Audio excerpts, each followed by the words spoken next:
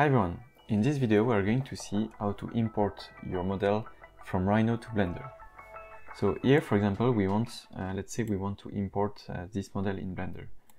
So before exporting this uh, you want to create a reference point um, which is useful uh, when you export something with uh, many components like in this case. So you're going to create a point and uh, you're going to put it somewhere um, here for example and uh, to put it higher so that it's easy to select it.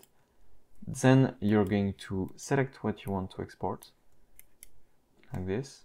And then you're going to do export select export selected with origin.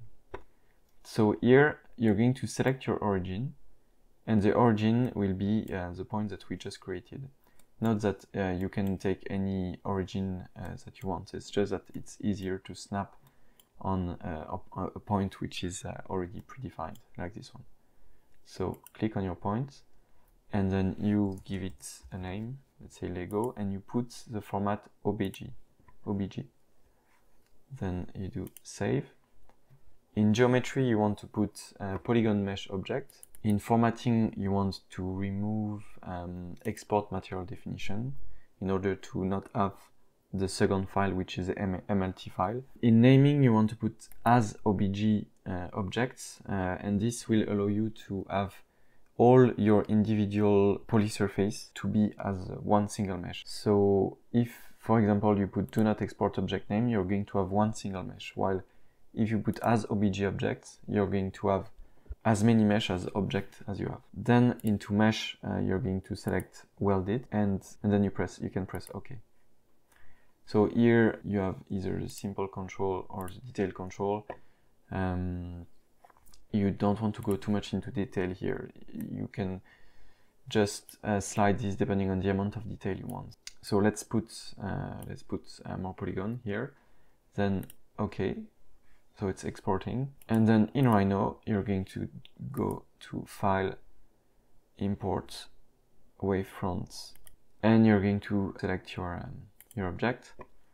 And in scale you want to put uh, 0.001 because when you import something from Rhino to Blender you always end up with objects which are way too big. So 0.001 is basically going to import it at the correct scale. And then import then it's going to import it and here it is so you have your uh, your model. And as you can see you can select individually each uh, each mesh and move it. And also you can see I'm going to move the cursor that each center of uh, each origin of, of the mesh is at the same point which is the point that we defined earlier. So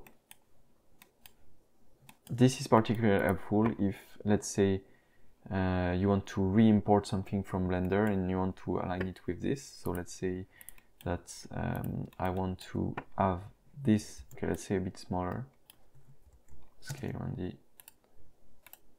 here. And then I want to re-export it, so I can just re-export this, uh, this one. So I'll select it and do export uh, with origin. And then uh, you're going to select your point as the origin. You're going to name it Lego uh, wheel and save. Then you put the same specification okay and then when you go back into blender let's move this here. If you re-export it re-import it so obj lego wheel same scale. Then it's going to be here.